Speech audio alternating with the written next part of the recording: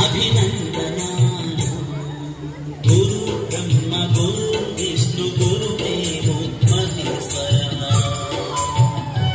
బ్రతికి నన్ని నాళ్ళు ఫలములిచ్చుటే కాదు. బ్రతికి నన్ని నాళ్ళు ఫలములిచ్చుటే కాదు. చచ్చి కూడా చీచి ఇచ్చు తనువు త్యాగ భావము కరువులే గురువులు. త్యాగ భావమునకు కరువులే గురువులు.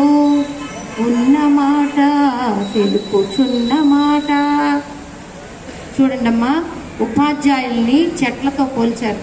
ఎందుకంటే చెట్టు చూడండి బ్రతికి మనందరికీ ప్రాణవాయువునిస్తుంది అది దాన్ని చ- అంటే కొట్టేశాక కూడా అనేక వస్తువుల్ని తయారు చేస్తుంది.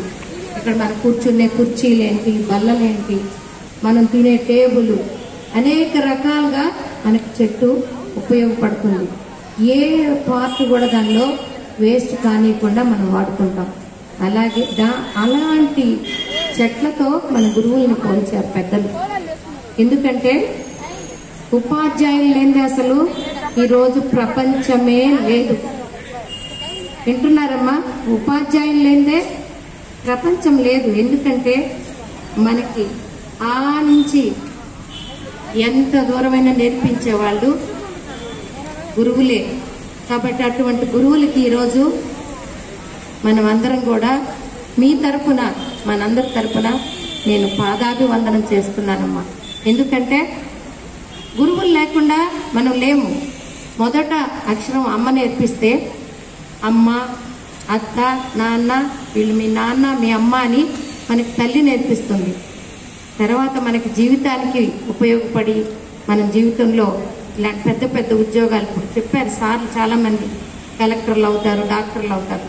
దానిలో నేను ఈరోజు ఇంత ఉన్నతమైన స్థితిలో ఉన్నానంటే ఈరోజు నా భర్త ఈ స్కూల్లో చదివి ఒక పెద్ద డాక్టర్గా పేరుగాంచి ఈరోజు నేను ఇంత ఉన్నతమైన స్థానంలో ఉన్నాను.